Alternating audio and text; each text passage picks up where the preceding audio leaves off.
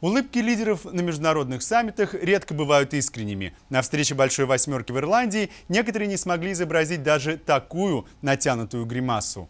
Причина нелицеприятного обмена заявлениями и взаимными обвинениями – несогласие российского президента Путина с другими коллегами по вопросу войны в Сирии. Но это лишь самый наглядный пример глубочайших различий между путинской Россией с одной стороны и с другой – странами Западной Европы, США, Канадой и Японией. В клуб развитых либеральных государств Российскую Федерацию еще при Ельцине приняли авансом, надеясь таким образом поддержать демократизацию страны. Аванс «семерки» Кремль принял за должное. Быстрые нефтедоллары создали впечатление экономического успеха. Однако по показателю ВВП Россия в 7 раз отстает от США, в 3 раза от Японии и в 2 раза от Германии. Уровень гражданских свобод в России – постоянный предмет критики правозащитников.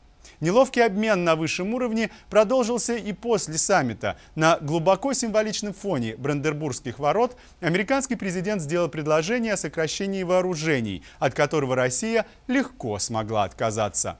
Диалог с препятствиями, по словам разобрала Екатерина Катрикадзе.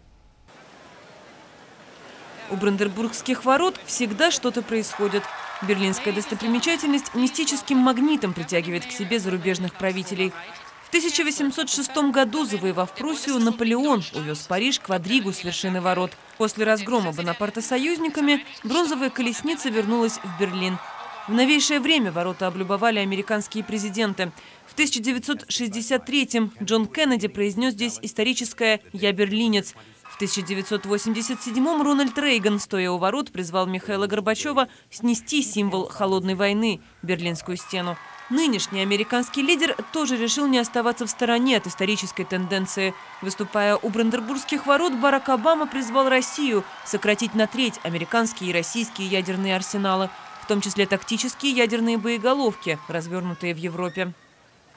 Первая реакция российской стороны оказалась осторожной, если не негативной. Москва готова обсуждать предложение Обамы лишь в том случае, если США пойдут на уступки по развертыванию у российских границ систем противоракетной обороны.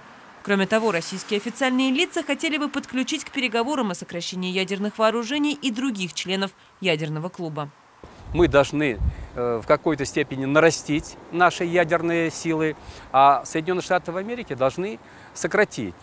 Э, и эти процессы, которые Э, последние годы, они начали сопровождаться э, иными э, предложениями, процессами, в частности, развертывание ПРО в Европе. Естественно, это существенно влияет на расклад сил, и Российская Федерация против такого увязывания. И мы хотели бы, чтобы работа по ПРО была э, организована с учетом наших мнений.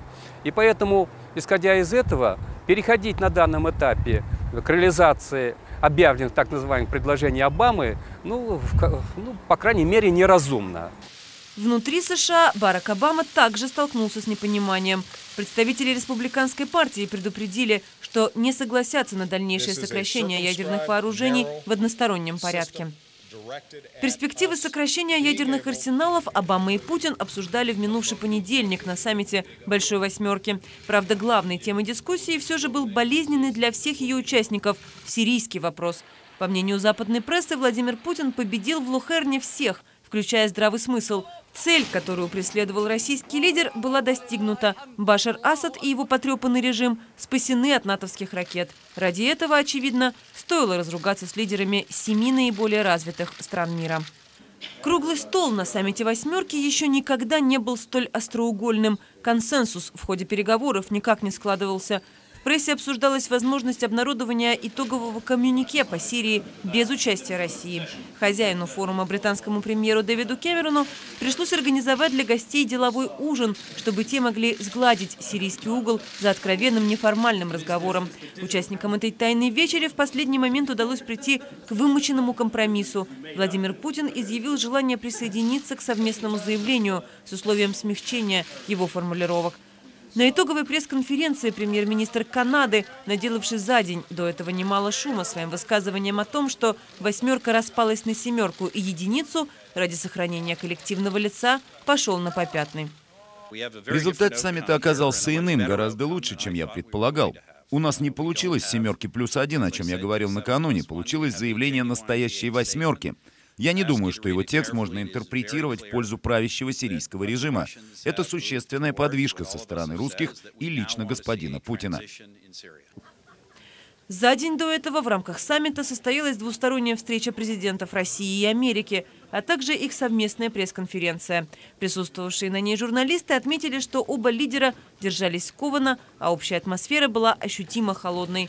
Путин и Обама признали наличие противоречий, однако заверили, что обеими сторонами движет желание остановить сирийское кровопролитие.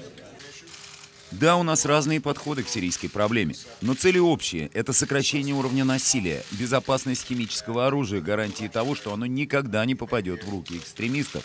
Мы хотим решить эти проблемы политическими средствами, если это возможно. Поэтому мы настроены продолжить дискуссию между нашими странами на встрече в Женеве. Мы объединены общим стремлением прекратить насилие, прекратить э, увеличение количества жертв в Сирии, решить проблему мирными средствами, в том числе с помощью переговоров в Женеве. Мы договорились подтолкнуть процессы мирных переговоров и побудить стороны сесть за стол переговоров, организовать переговоры в Женеве.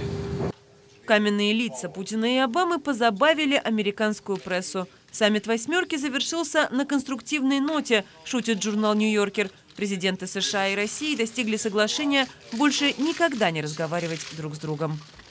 Екатерина Катрикадзе, Вадим Милицын. Специально для программы «Эхо недели». RTVI.